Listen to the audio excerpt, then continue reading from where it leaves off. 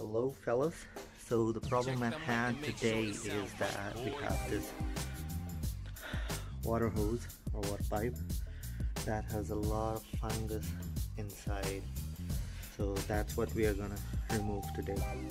So if you're interested, please subscribe to my channel and hit that bell icon.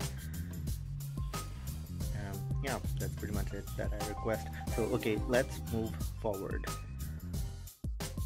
I'm gonna do is that first I'm gonna remove a screwdriver. This thing. Hold on. Okay I just removed it.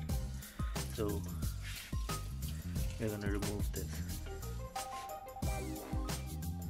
Alright so this is the other end of the pipe and at a lot of places because of stagnant water or the water that remains inside there is algae or fungus whatever you want to call it. And I'm gonna do a process that it in oil and gases it's called pigging. I have they do it in a different way but I spent a bit of time in oil and gas and from there I got this idea that I got this small piece of uh, foam that I'm gonna insert in here. Okay and I'm gonna plug it back and then turn on the pressure of water. Alright so this is uh, the water. Uh, uh, like the water hose is connected back and uh, this foam piece is right there and I've connected it back. So let's turn it on and see what comes out of the other end. Okay.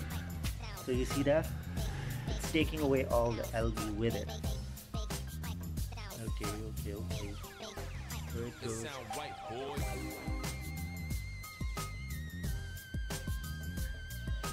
Nice. Oh, this is kink. Yuck.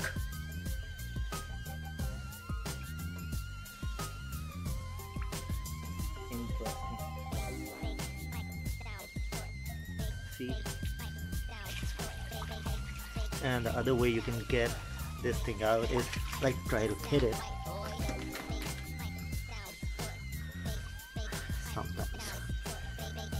Okay so what I'll do is that I'll uh, put the piece of foam back in again and start this process all over again but you saw that it took out most of the algae with it. let's repeat the process. Just in case you want to see piece of foam that came out. Look at this piece of shit.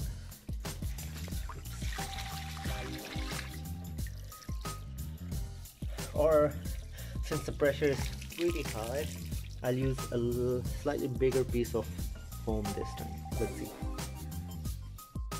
Alright, this time I have two pieces of foam. Let's see.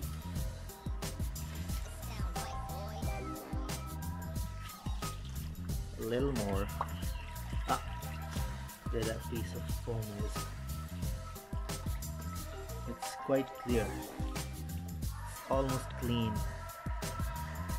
I wouldn't say brand new, but I mean, you can see that it's pretty much clear all the way.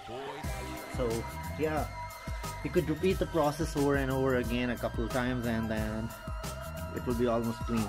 So let's call it a day guys. See you later. Bye bye. Sorry about that screen talker.